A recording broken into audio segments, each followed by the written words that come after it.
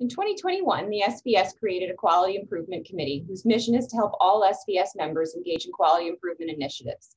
Our guiding principles are that QI initiatives should be meaningful for patients, feasible for vascular specialists in all types of practice, and demonstrable to payers or other interested parties.